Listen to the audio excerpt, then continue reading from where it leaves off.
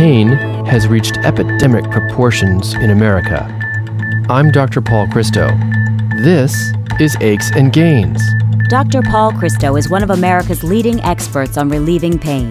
He's board certified, Harvard trained, and a pain medicine specialist at Johns Hopkins. U.S. News and World Report ranks him as a top doctor and among the top 1% in the nation for pain management. Becker's Review selected him as one of the 70 best pain management physicians in America. He's listed as a super doctor for the Washington, D.C., Baltimore, Northern Virginia area. Aches and Gains is a weekly talk show covering all aspects of pain and pain relief. The human impact is real. Older adults, children, and even infants struggle to cope with pain. But there's hope, and there are treatments that can ease pain and suffering. The show offers compelling stories about people who found relief. We share cutting edge treatments from contributing experts, and we offer ways to help people cope with their pain. Welcome to the show. Our bones are built of living tissues. Throughout our lives, the cells of these bones are constantly renewed. Osteoporosis occurs when the creation of new bone isn't able to keep up with the removal of old bone. Bones then become weak, brittle, and painful, so brittle that a fall or even mild stresses like bending over or coughing can cause what is known as a fragility fracture. Bone loss is painless, but breaks in the bone can feel like a firecracker snapping inside of you. These fractures most often occur in the hip, wrist, or spine. In fact, almost 1.5 million fractures occur in the vertebral bodies of the spine each year. These fractures are linked to pain, immobility, spinal deformity, and disability. Our guest is Dr. Keith McCormick. He's author of The Whole Body Approach to Osteoporosis and shares his experience as both a patient who overcame 12 fragility fractures and an osteoporosis expert who's developed a nutrition based prevention and treatment program. Remarkably, Dr. McCormick also reestablished himself as one of the best Ironman triathletes in the world. Aches and Gains is supported by Medtronic, Mylan Pharmaceuticals, Purdue Pharma, Endo Pharmaceuticals, Horizon Pharma, Pentec Health, and Boston Scientific. For live online listening to Aches and Gains, please go to paulchristomd.com. To access podcasts of the show, please go to paulchristomd.com. If you have any questions or comments for Dr. Christo, please email him at achesandgains at gmail.com. We're here with Dr. Keith McCormick, a chiropractor specializing in the nutritional management of patients with bone fragility. He's been in practice for 30 years and is a former member of the 1976 U.S. Olympic team in modern pentathlon. Dr. McCormick, welcome to Aches and Gains. Thank you very much for inviting me. At 45 years old, you were diagnosed with osteoporosis. I mean, that's very unusual to happen to someone so young. Well, it was pretty devastating. I was, had been an athlete all my life and on the Olympic team, did Ironman competitions, and when the woman said, You have worse bone density than a 100 year old woman, I was pretty floored by that. I would be too. Keith, uh, osteoporosis is pretty rare in men, isn't it? Uh, that's what most people think, anyhow. That actually 20% of men will sustain an osteoporotic fracture within their lifetime. And even when I went to an endocrinologist, they were pretty confused by it too, and they were looking for other reasons for the disease because they didn't think that it was possible too to have me have that low bone density. In your experience, how strong is the link between osteoporosis and pain? Five years ago or so, I, I did a little bit of um, PR work for the National Osteoporosis Foundation in Washington, D.C. And when I met with Prince Charles and Camilla and the head of uh, NIS, that was one of the questions that was asked of me as, do you think that there's pain with osteoporosis? And I am convinced that there certainly is. My upper back, my thoracic spine, hurt constantly for years. Uh, even before I knew I had osteoporosis. Yeah, you know, it's rare for us to think that bone loss in and of itself can cause pain. Yes. And I think well, that's one of the, the main things when you're reading about osteoporosis. They always call it the silent disease because there are no signs and symptoms of osteoporosis. Now, the, the problem stems from the fact that so many people have back pain. And uh, a lot of people have back pain without osteoporosis. So the link there is muddy, but all I'm saying is for me personally, I had a lot of thoracic back pain. And now that my osteoporosis is under control, I don't fracture anymore and I don't have any back pain. That's great to hear. Keith, fractures are painful. Which are the most common in osteoporosis? I see both in my practice. I see a lot of patients for osteoporosis.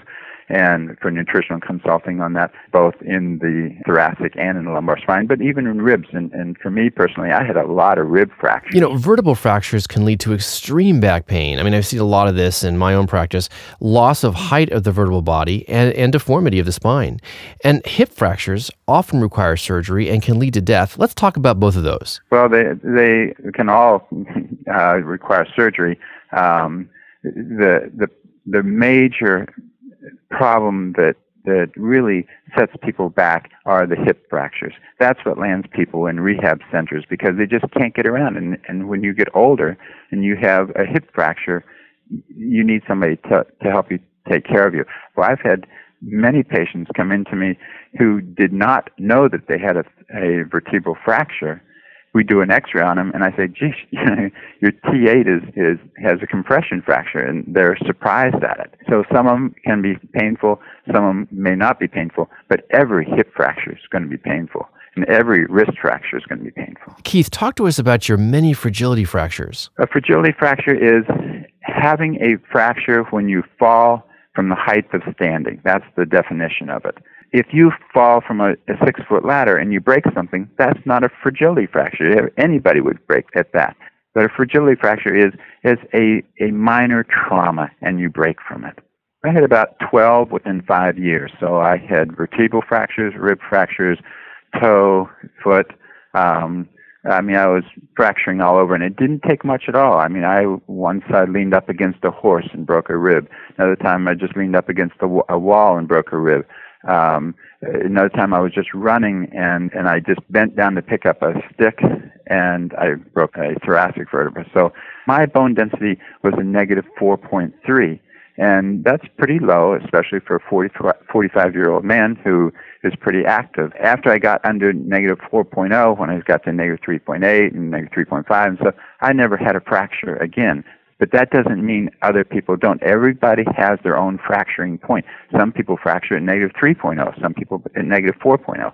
Everybody's different. Exactly. Bone mineral density is worse as the T score becomes more negative. And to put this into perspective, your bone mineral density score of negative 4.3 was quite low. Severe osteoporosis is characterized as having a score of negative 2.5 or lower, as well as the presence of at least one fragility fracture, and you had 12. A normal bone mineral density score is negative 1 or above.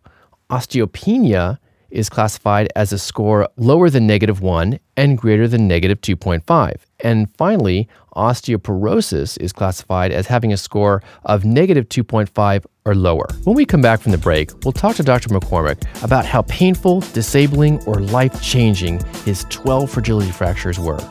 I'm Dr. Paul Christo, and you're listening to Aches and Gains. Aches and Gains is supported by Medtronic, the global leader in medical technology alleviating pain, restoring health, and extending life for millions of people around the world. Mylan Pharmaceuticals, one of the world's leading generic pharmaceutical companies. Discover why at Mylan, quality isn't just a claim, it's a cause we've made personal at seeinsidemylan.com. Purdue Pharma, making a positive impact on healthcare and on lives, reminding everyone to safeguard medications in their home. Welcome back. We're speaking with Dr. Keith McCormick, a chiropractor specializing in the nutritional management of patients with osteoporosis and bone fragility. Uh, Keith, tell us about your 12 fragility fractures and how painful, disabling, or, or life changing they were. For me, the hip was pretty uncomfortable. The vertebral fractures were pretty darn uncomfortable. They hurt for a year. Ribs, to me, are no big deal. I've, I've broken so many ribs in my life that I, I don't even think about anymore. In, in about actually in about three weeks and four days, it always seems like to me they seem like they're they're pretty good by then. The first three weeks, I hear them go crunchy, crunchy all the time. Uh, um, I've actually uh, broken so many bones that I I know what they sound like when they break, and to me, they almost sound like a little bit of air being let out of a tire, like that, and that's that's my break. I think. But like I said, I have not broken in probably six or seven years now.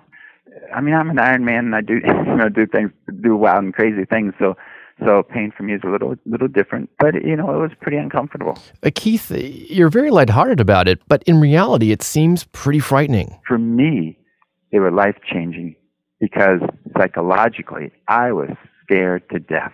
I mean, I was scared to death that I was going to break at every turn I, I made, any movement I made. And the vision that went through my mind was, I'm not going to be able to look up at the stars when I get older because I'm going to have a huge dowager's hump. I'm going, to, I'm going to be so bent forward. And I've had patients like that that are, you know, just they can't they can't, you know, stand up straight because they've had so many fractures. So I was scared to death. I had young kids. I was thinking, I can't go play frisbee with them. I can't throw a baseball with them. That was where my fear lies. I can completely understand that too. Keith, before we go any further, tell us about bone loss. People don't think of bone as being alive, but it is. There's there's a lot happening in your bones at every second, every moment of the day. That's where your red blood cells are being formed. That's where your immune system's being formed. They're, your bones are actually an endocrine organ that release a hormone called osteocalcin that helps your insulin regulate your blood sugar. So your bones are incredibly vital to not just helping you stand up straight, uh, having anchors for your muscles, but they're important for your overall health. When the bones start having too much calcium leached out from them, they get thin, more brittle, and then they just don't have the structural integrity to withstand the forces of everyday life. There are certain fixed risks associated with osteoporosis, like age and female gender.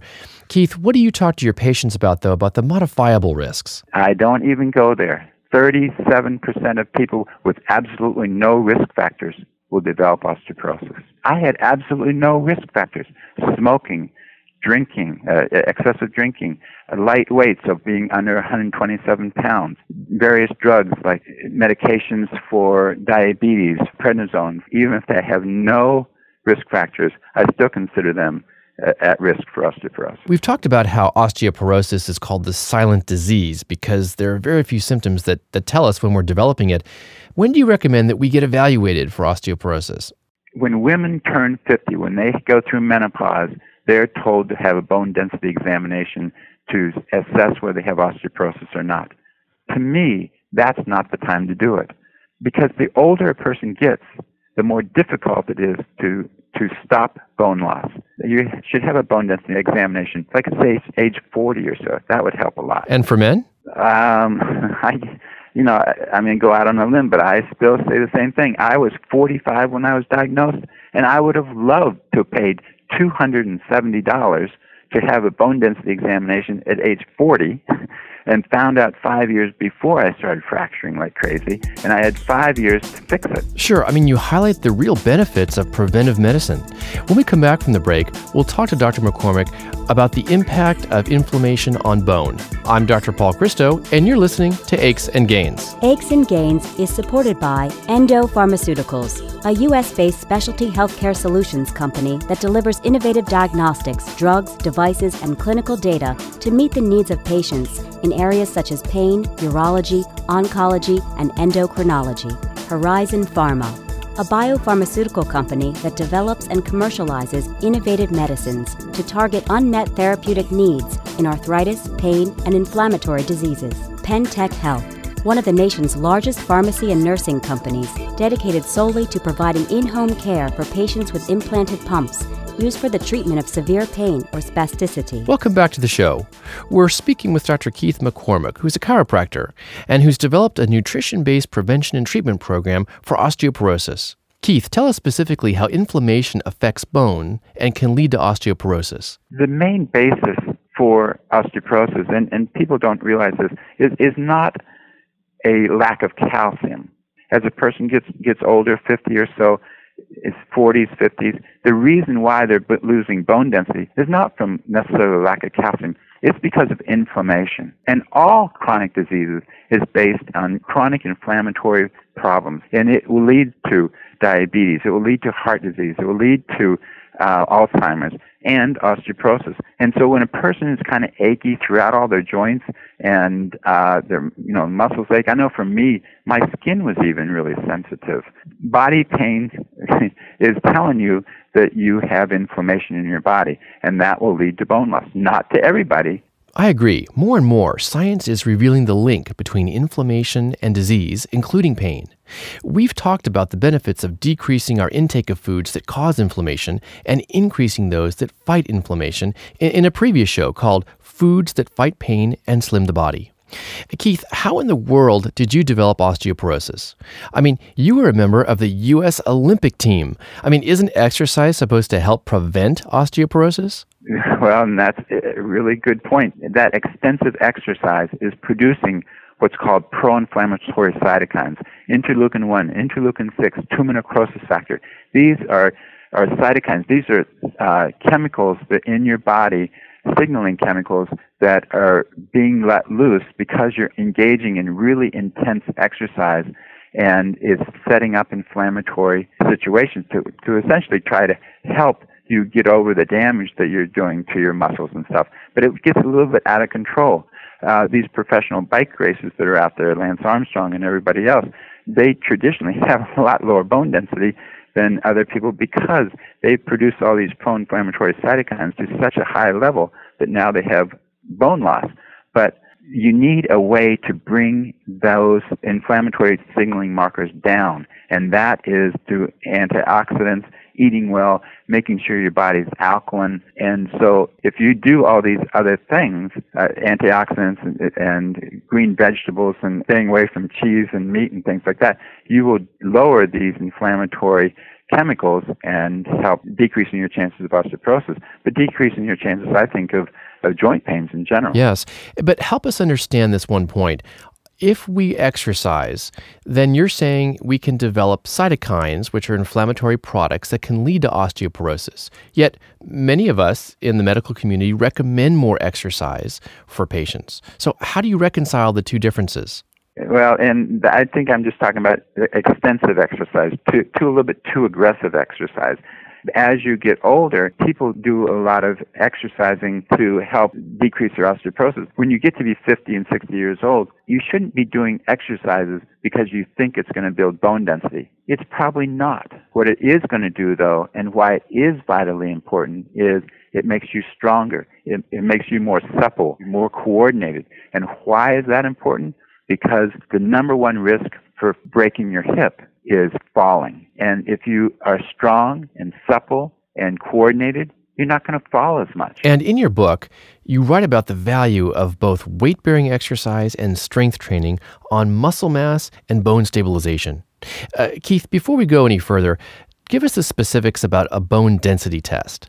A person lies down on a table, and the machine emits a little bit of radiation and then it catches it on the other side of you. And depending on how much goes through you, essentially, then it tells how much radiation is being stopped by your bones. It's very simple. It maybe takes 20 minutes to have done. Insurance pays for it if you're over 50. It, you would have to pay out of pocket if you're under 50. Dr. McCormick, I mentioned your book, The Whole Body Approach to Osteoporosis, at the beginning of the show. What's unique about it? It sets out a whole new paradigm from what is traditionally out there in mainstream medicine. The doctors typically don't do testing. They just found it, oh, this person has osteoporosis, and then they're automatically put on a bisphosphonate. What you need to do first is see what a lot of lab tests are telling us, and then if they're fracturing and they have, uh, you know, really severe bone loss, then you might want to put them on a medication for six months or a year. But if you don't have a baseline of these biomarkers to see where the person started out at, then you don't know if what you're doing is helping. So my whole thing is do these different tests. Do uh, a, a uh, C-reactive protein. Do homocysteine. Do a bone resorption marker. Let's find out what their state is right now so that we can change them as we go along. Now let's turn to treating osteoporosis. There are a number of effective medicines that are approved for prevention and treatment. Let's talk about which are the most useful in reducing fractures and pain. The problem with bisphosphonates, and that's the one that I think most people are on, this Fosamax, alendronate, risedronate, Boniva, ibandronate, zoledronic acid, Reclast. The ones that you start having IVs in, in infusions, three months, one year infusions, they're just getting stronger and stronger and stronger. That's their difference. Is there a real fracture rate different in, in them? I'm not sure there is. To me, the least invasive ones are the better. So I, I really like alendronate because if a person has severe muscle aches and joint pains from it, and that's not that unusual, you can just get them off. if you've been given an infusion of Boniva or Reclast, you might feel worse for a long time because these things stay in, in your system for, for a lot longer. Taking a, a once weekly tablet is, is a lot better if, if a person can and take it. Keith, you've talked about some of the side effects associated with the bisphosphonates, things like alendronate. At the same time, there's data that supports the use of alendronate in reducing fractures and pain. Yes, it does. It, it, it definitely decreases fractures. And the reason why it works so well is because it decreases the number of what's called resorption pits in, in the bone. So it right away decreases the osteoclastic activity. The osteoclasts are the cells, the bone cells that actually degrade your bone. Then the osteoblasts come along and build up bone. When mm-hmm. you decrease osteoclastic activity by taking one of these bisphosphonates, you decrease the number of resorption pits in a bone. The less resorption pits you have, the harder it is to fracture a bone. So your fracture risk is actually decreased within the first three, four, five months of taking the bisphosphonate. After that, it's it's not as helpful. Okay, the medicines called bisphosphonates reduce bone destruction and preserve bone mineral density. Your nutritional approach to managing osteoporosis uses something called resorption markers. These markers measure small parts of the bone that are eliminated through the urine. High levels of these markers tell us that more bone is being lost. Tell us more about it. Bringing those bone resorption markers down by using things like uh, antioxidants, like N-acetylcysteine, alpha-lipoic acid, berberine, things like that. That that will bring down osteoclastic activity. It will bring down those bone resorption markers. But if you fail, if you can't bring it down far enough, you can take a bisphosphonate and bring it down to, like I said, if it started at 100 and you can bring it down to 40 or so, we've brought their risk factors of the risk of breaking down, and then the person doesn't have to stay on it for for long term if the bone resorption gets higher and higher and higher, and you can't keep it down with nutrition only, then you take the bisphosphonate again. Because long-term bisphosphonate use is linked to osteonecrosis of the jaw, is linked to mid-shaft thigh fractures, it's linked to these adverse reactions, increased brittleness of bones and increased fracture risk after maybe five years of taking them. Take them short term and only when you need it. I'd like to summarize Dr. McCormick's recommendations on the value of nutrition in combating osteoporosis. In general, he advocates eating foods that will decrease the body's acidity, increase bone mass, and decrease bone loss. Specifically, eating less red meat, cheese, dairy products, eating more green vegetables like broccoli, kale, and bok choy, as well as eating more fruits like prunes. And Keith, for those who have painful fractures from osteoporosis and who are scared to walk or even move, what's your message of hope? They definitely can help themselves. They definitely can change things around. There's no doubt about it in my, in my mind because I did it. I know that it's possible, but it takes a lot of work. It takes changing their diet. It takes exercising. It takes getting out there and really doing something and becoming your own best advocate. It's it's really important to have a really good doctor to work with, a really good doctor that that will sit down with them and talk to them and and be essentially their coach and and uh, on the same you know page as them. Uh, but there's no doubt about it. You can do it if you if you want to. Absolutely, Dr. McCormick. Thank you so much for joining us today on Aches and Gains. Thanks so much for having me as a guest. Tune in next time when we explore another interesting topic on Aches and Gains. Aches and Gains is supported by Medtronic, Mylan Pharmaceuticals, Purdue Pharma, Endo Pharmaceuticals, Horizon Pharma, Pentec Health, and Boston Scientific. For live online listening to Aches and Gains, please go to paulchristomd.com. The views and opinions expressed in this radio program are solely the views of Dr. Paul Christo and do not necessarily express the views of this radio station and Johns Hopkins University School of Medicine, nor an endorsement by any or all of them of any of its content. This show provides medical information, not advice. Please consult your personal physician before engaging in any course of treatment or use of any of the techniques or products discussed on this show. Discussion of particular uses of products on this show have not been approved by any of the manufacturers of such products. To access podcasts of the show, please go to paulchristomd.com. That's paulchristomd.com. Aches and Gains is produced by Tom Blair and Ty Ford. Elsa Langford is the technical consultant and engineer. Dr. Paul Christo is the executive producer. Thanks for listening. This is Aches and Gains with Dr. Paul Christo.